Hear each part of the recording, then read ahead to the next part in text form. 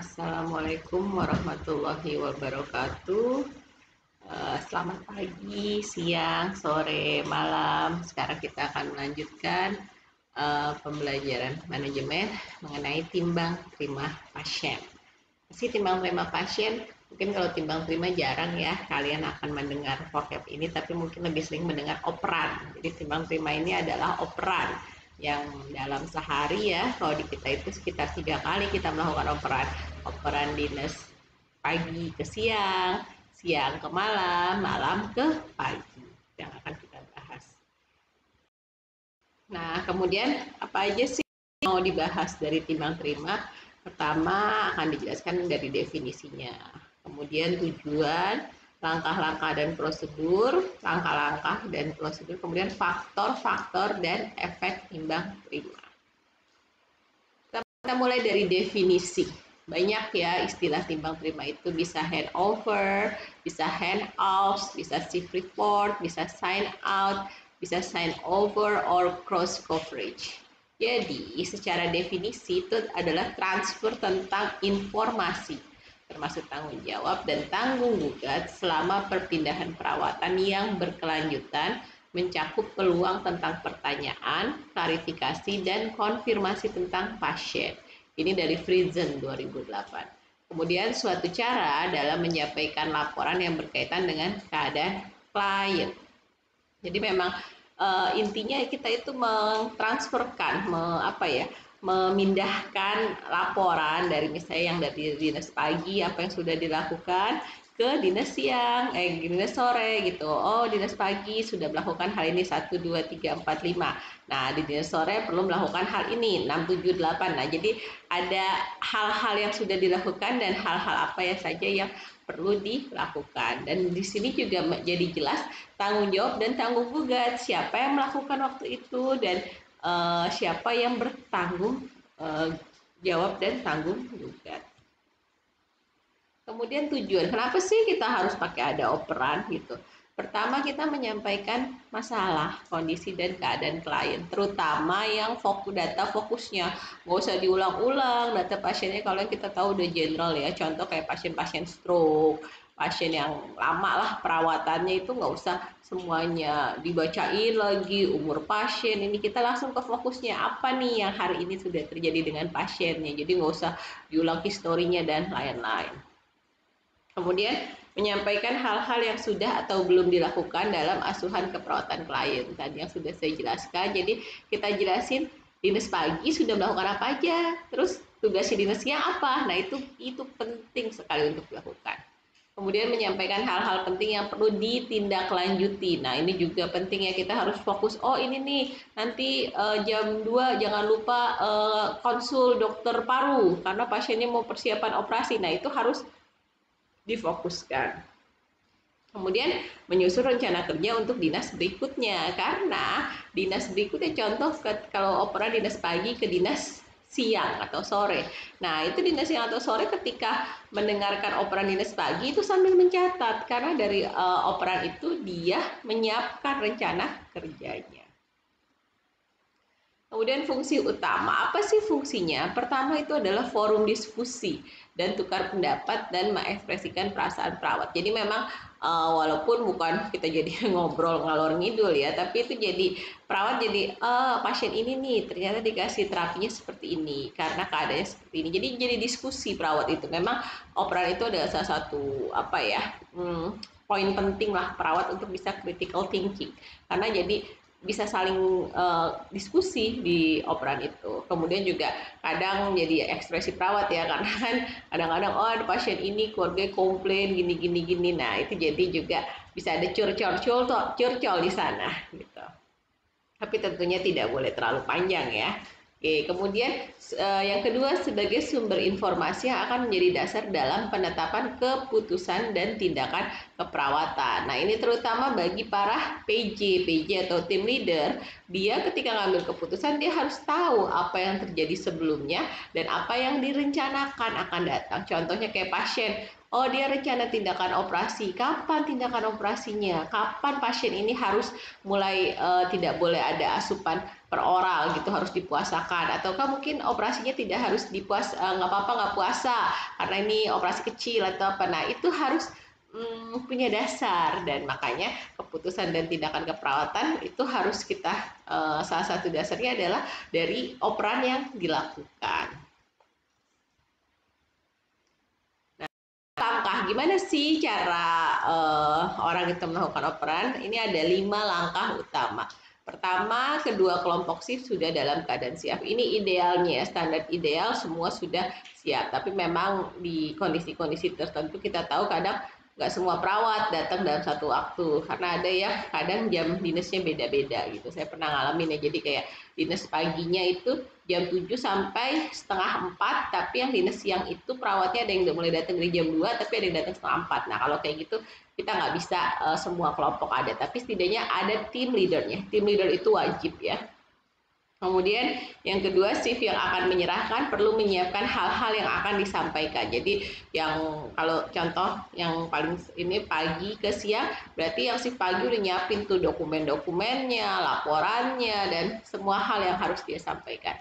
Kemudian PP primary, primary nurse ya perawat eh, apa primary nurse yang PJ PJ-nya itu menyampaikan ke PJ shift selanjutnya keadaan pasien secara umum, tindak lanjut, dan rencana kerja untuk dinas yang menerima laporan. Jadi yang PJ atau primary nurse yang di shift uh, awal itu harus menjelaskan secara detail supaya PJ selanjutnya itu menjadi jelas. Kemudian keempat, penyampaian timbang terima di atas harus dilakukan secara jelas dan tidak terburu-buru. Ya, jadi nggak boleh operan, eh cepet nih mau pulang nih gini-gini nggak boleh karena nanti takutnya ada yang miss dan itu bisa membahayakan pasien. Jadi lakukanlah operan itu secara mendetail dan sistematis.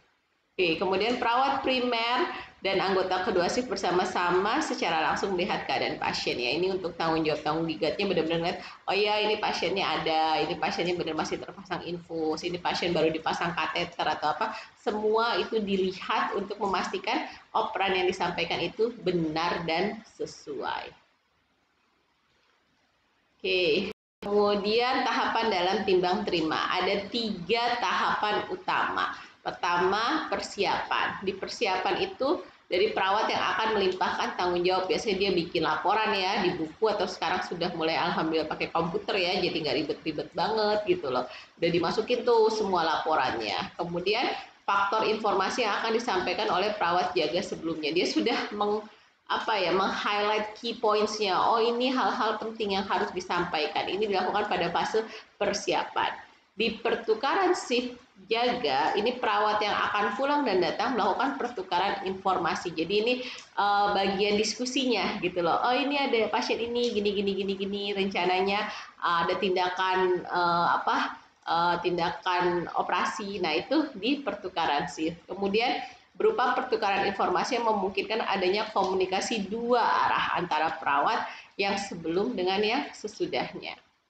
Kemudian setelah selesai persiapan, selesai pertukaran shift jaga, akan dilakukan pengecekan ulang informasi, di mana aktivitasnya itu adalah perawat yang menerima operan melakukan pengecekan data informasi pada medical record ataupun pasien langsung. Jadi PJ, terutama PJ-nya ya, atau yang in charge di shift itu harus benar-benar mastiin oh ini terrecord informasinya sama dengan yang disampaikan atau tidak. Karena itu nanti akan jadi tanggung jawab dia dan dia nanti akan ngoperin lagi selanjutnya. Jadi ada pengecekan benar-benar bisa daripada file pasien dan juga ke pasiennya.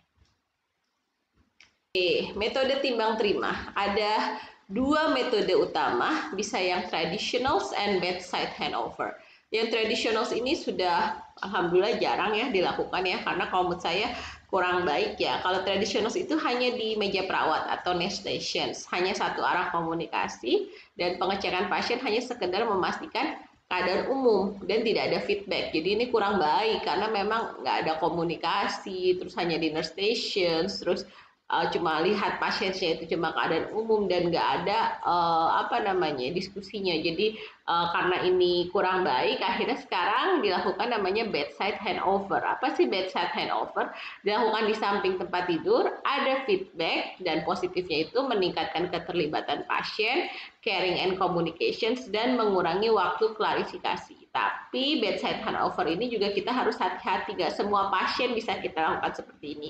Karena ada data-data sensitif yang kita nggak bisa langsung sharing depan pasiennya, gitu depan pasien dan keluarganya. Nah kita harus hati-hati di sini. Tapi ya positifnya memang jadinya kita meningkatkan keterlibatan pasien dan keluarga. Nah, kita harus harus apa ya bisa memilih mana metode yang sesuai dengan situasi dan kondisi pasien.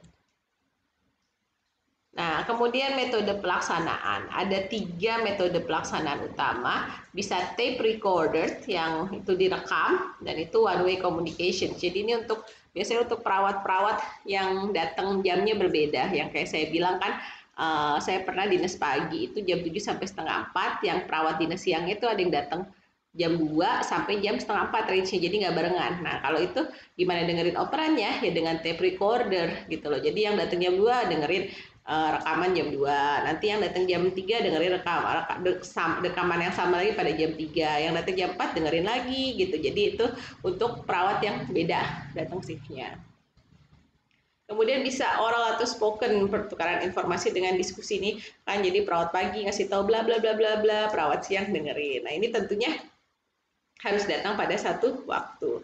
Kemudian kalau written pertukaran informasi dengan melihat medical record. Jadi kalau written itu langsung dilihat. Nah, apa pesan dari Joint Commission Hospital Patient Safety? Jadi ada ada guidelines ya, ya dari GCIA Joint Commission Hospital. Pertama, interaksi komunikasi harus memberikan peluang adanya pertanyaan. Jadi jangan yang menerima operan cuma nggak boleh nanya karena cepet-cepet kan biasanya itu udah ya gini gini gini gini udah ya tinggalin. Nah itu nggak boleh. Harus uh, yang memberikan operan itu harus memberikan kesempatan. Ada yang nggak jelas nggak ada yang mau ditanyakan itu penting supaya kita pastikan yang menerima operan itu paham. Kemudian ada update informasi ada verifikasi penerimaan informasi penerima harus mendapatkan data tentang riwayat penyakit dan handover tidak disela dengan tindakan lain karena ini untuk meminimalkan kegagalan informasi. Jadi penting sekali jangan ketika lagi operan nih ada dokter datang terus oh ya ya ya, ya uh, PJ-nya ninggalin atau apa. Nah, ini sangat resiko ya, sangat beresiko terjadinya uh, ada yang lupa atau apa. Jadi kalau bisa PJ yang uh, lagi mengoperkan dan PJ yang mau menerima operan itu jangan diganggu sama yang lain. Kalau yang uh, ada hal-hal yang penting atau lain-lainnya itu perawat-perawat yang lain saja yang PJ-PJ atau apanya mendengarkan operan dengan baik. Kemudian faktor-faktor. Pertama harus ada komunikasi yang objektif ya, jadi nggak boleh subjektif. Jangan perawatnya udah saling nggak percaya nih misalnya, ah kalau dia mah di tim apa di tim A itu orangnya pada kerjanya nggak bener, yang bagus tuh tim B gini. Nah itu kalau sudah ada subjektivitas seperti itu jadinya kurang baik. Jadi uh, antara tenaga kesehatan harus punya komunikasi yang objektif, yang terukur. Jadi kita benar-benar berkomunikasi berdasarkan data. Terus pemahaman dalam penggunaan nursing terminology. Nah ini hati-hati, makanya saya selalu bilang sama mahasiswa, kalau kalian baru datang di rumah sakit itu, pastikan kalian paham dulu dengan uh, singkatan-singkatannya, abbreviationsnya kayak DPL adalah periksa lengkap, MCU, medical check up, UL, urinalisis. Nah itu tiap rumah sakit kadang beda-beda. Kalian paham dulu karena ketika operan ini sangat banyak digunakan. Dan kalau kalian nggak paham jadi bingung nih apaan sih, apaan sih. Tapi jangan orang lagi operan ditanya-tanya mulu. Nanti ketika udah selesai baru tanya ke kakaknya pelan-pelan. Kemudian kemampuan menginterpretasi medical record. Nah, ya ini ini pengalaman ya. Nanti semakin kalian semakin lama di rumah sakit, insya Allah kemampuan kalian akan lebih baik. Jadi kalian bisa lebih paham. Oh, ini pasien ini ada perubahan ini karena ini karena ini. Jadi kalau orang yang sudah bisa interpretasi medical record, itu biasanya operannya juga akan lebih smooth, akan lebih lancar kemampuan observasi dan analisa pasien. Nah, ini juga sama ya. Jadi uh, seorang tim leader terutama dia harus benar-benar paham oh ini pasiennya seperti ini, makanya dia sudah harus ada tindakan ini dan lain-lain. Dan pemahaman tentang prosedur klinik. Nah, ini efek timbang terima dalam Sipiaga. Ada beberapa efek timbang terima ya. Ini yang tiga utama, nanti ada dua lagi. Pertama di fisiologis. Nah, ini kan kita tahu ya, perawat itu kerjanya uh, ada shift malam, shift pagi, sore dan malam. Ketika uh, terutama banyak shift malam, nah itu kecenderungan mengantuk dan lelah pastinya akan lebih tinggi. Makanya nanti kalian kalau sudah kerja harus pintar-pintar jaga kondisi, jangan ngoyo udah shift mal, udah kerja shift malam ya, yang pastinya badannya lebih capek, pulang masih jalan-jalan atau apa. Nah itu akan tidak bagus ke badannya dan nanti ke performance kerja. Kemudian bisa menurunnya nafsu makan dan gangguan pencernaan. Iya, karena tadi balik lagi kalau orang udah capek, udah istirahatnya kurang, jadinya males ngapa-ngapain. Nah, itu juga harus diwaspadai.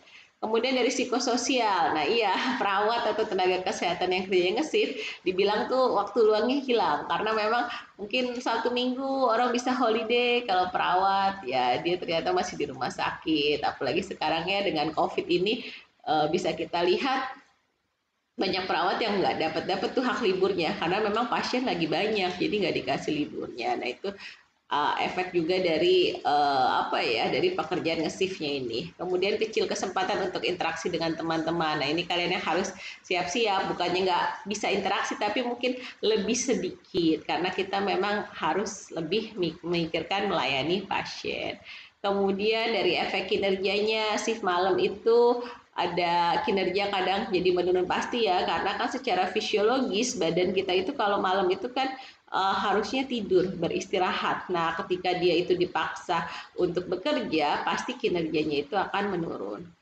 Kemudian juga kemampuan mental menurun, menurun kewaspadaan terhadap pekerjaan. Nah, iya makanya hati-hati dengan shift malam.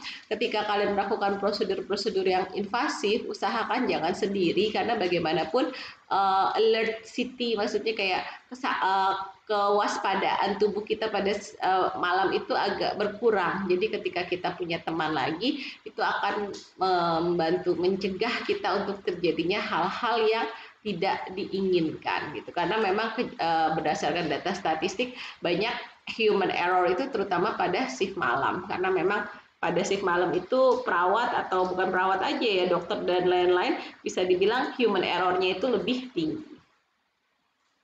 Kemudian di kesehatan bisa ada gangguan gastrointestinal seperti gangguan kadar gula darah balik lagi karena istirahatnya kurang pada malam. Sedangkan kita tahu kayak ginjal atau zat yang mensekresi racun itu harusnya bekerja maksimal pada malam hari. Kemudian keselamatan kerja, frekuensi kecelakaan paling tinggi terjadi pada shift malam. Nah ini lagi ya shift malam ini memang juga biasanya kan shift malam itu nggak banyak ya. Kalau shift pagi bisa lima orang, shift malam kadang dua orang gitu. Sedangkan jumlah pasien sama. Nah makanya kadang ya itu human error atau medical error itu banyak terjadi pada shift malam. Nah, apa aja yang harus didokumentasikan pada timbang terima? Pertama pastinya identitas pasien kemudian diagnosa medis pasien, dokternya siapa, kondisi umum, masalah keperawatan, intervensi yang sudah dilakukan, intervensi yang belum dilakukan, tindakan kolaborasi, rencana umum dan persiapan lain dan tanda tangan dan nama terang. Jadi ini poin-poin penting yang pastinya harus ada ketika kita operan. Kemudian manfaat pendokumentasian, kenapa sih kita harus mendokumentasikan? Karena kalau kita eh, mendokumentasikan nanti bisa digunakan lagi untuk keperluan yang bermanfaat. Kemudian juga itu kita komunikasi dengan tenaga perawat dan nakes lainnya dan bermanfaat untuk pendataan pasien yang akurat. Nah, ini ke uh, skema timbang terima. Nah, ini dari ada pasien, ada diagnosa keperawatan, ada rencana tindakan, kemudian apa yang telah dilakukan dan apa yang akan dilakukan, kemudian perkembangan keadaan pasien baru kita analisa masalahnya ini uh, mekanisme kegiatannya ini tadi sama hampir sama kayak prosedur ya dan di video itu saya lihat sudah ada simulasinya bagus juga ini uh, penjelasannya aja di pratimbang terima di pra itu sudah kelompok berkumpul karung ngecek kesiapan dan uh, yang akan bertugas sudah nyiapin catatan. Nah kemudian pas di pelaksanaannya itu baru ini nih menyampaikan dikasih tahu nih yang hal-hal yang harus disampaikan yang ada di ini identitas klien masalah dan lain-lain. Biasanya paling lama di sini yang di pelaksanaannya. Nah setelah pelaksanaan di pos timbang terima. Nah ini yang kita uh, apa mulai klarifikasi data-datanya. Eh udah dicatat nggak? Apa yang laporannya dan lain-lainnya